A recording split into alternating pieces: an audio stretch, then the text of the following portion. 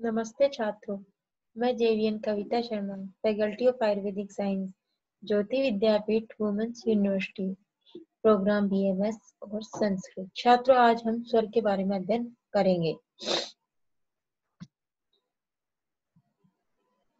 अच इति स्वरस्य पाणिनिकृता संज्ञा येषां वर्णानाम् उच्चारणं। स्वतन्त्रतया भवति ते स्वरा कथ्यन्ते। स्वर उच्चारण समय दीर्घ या धारेण ह्रस्व दीर्घ लोट इति त्रिधा। विभक्ता एकमात्र स्वर ह्रस्व स्वर, द्विमात्र, दीर्घ, त्रिमात्र, प्लुत च भवति। दूरस्थितस्य, पुरुषस्य आह्वानाय प्लुत उपयुज्यते। विसर्ग अर्थ मात्रक जीवा मूल्य उपमाध्वनियों पाद मात्रकों उच्चारण काल मात्रा अनुसार स्वर स्तावत त्रिविधा।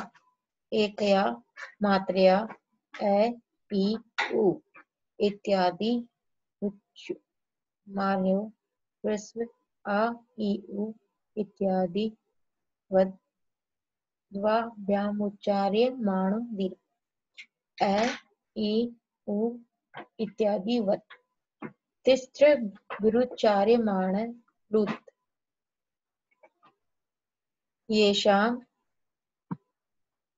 स्वराणाम् उच्चारणम् एकमात्रकालेन भवति चेरस्वस्वरा इति कथ्यन्ते। ते पच सन्ति। तान् मूलस्वरा इति अपि कथ्यन्ति। अ, इ, उ, रि ऋ दीर्घस्वरा, येषां स्वराणाम् उच्चारणं मात्रा द्वेन भवति। ते दीर्घस्वरा इति कथ्यन्ते। ते अष्टौ सन्ति। प्लुत्स्वरा, येषां स्वराणाम् उच्चारणं मात्रा त्रयेण भवति। ते प्लुत्स्वरा इति कथ्यन्ते। तान एव लिखन्ति अ, आ इ ई, उ उ, रि रि ऋ ए, ऐ, ओ, औ। दूरस्थस्य पुरसस्य आह्वान प्लुत उपयुज्यते। उदाहरणानि। आगच्छ कृष्णा, अत्र गोचरति, भो बाला, आगच्छन्तु। व्यञ्जनात् शब्दानां सम्बोधने तु शब्दस्य टेप्लूत् कल्पनीय।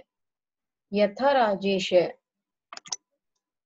एषु ह्रस्वदीर्घाभ्यां मे पदानि घटितानि प्लुतस्तु काककादिवाक्य मात्र दृष्टा स्वरविकार अत एव च तस्य लिपिषु चिह्नानि कल्पितानि स्वरेषु स्वरेषु ऋकारो अतीव विरल कृप्तम कृप्तम इत्येव धातुरूपे दृष्ट। अस्य दीर्घ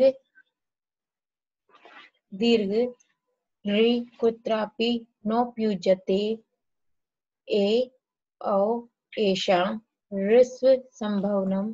देश्य भाषासु दृष्टो अपि संस्कृते नोपेक्षते परंतु संस्कृत भाषायां देश्य पद प्रयोगार्थ एषां ऋस्वरूप आधुनिक काले उपयुज्यते। ए कारस्य ऋस्वरूपं देवनागर्यो ए इति लिखति। ओ ओकारस्य ऋस्वरूपं देवनागर्या ओ इति लिखति। एषु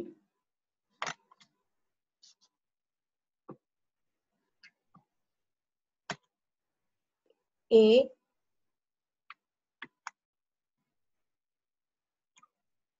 ओ एतो दीर्घो एव तत्सर्वणो ऋस्ववर्णो एव लिख्यते ए अहो दक्षिणात्य शब्दानां देवनागर्या लेखने उपयुज्यते संगीत शास्त्र प्रसिद्धम् कार मद्रक भेद निमित्त कृत्य स्वराणाम उदात अनुदात स्वरूप इत्यन्यथापि त्रिविधमस्ति।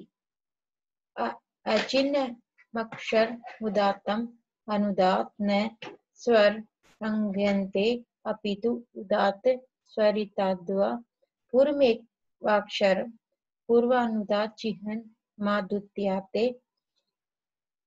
पदे कृतं न शक्यते। अतो नक्कित माध्यक्षर मुदात्वे ग्राह्यम अनुदात तु वाक्य प्रारंभे संदेह निवारणाय यावदुदात दर्शन मंगयन्ते न स्वतंत्रता वर्णा भी किमपि पद्मा अनुसार अर्धमकार सादृश्या ध्वनिर्नुस्वार विसर्ग, विसर्गा ध्वनि पदांतरेफस्योच्चारण विशेष, विसर्गाद्यो लभ्यते, स्वराणां मन्तेषु कदाचिदुपलभ्यन्ते इत्येव अतः एतेव अक्षर समाम्ना न पठिता। धन्यवाद।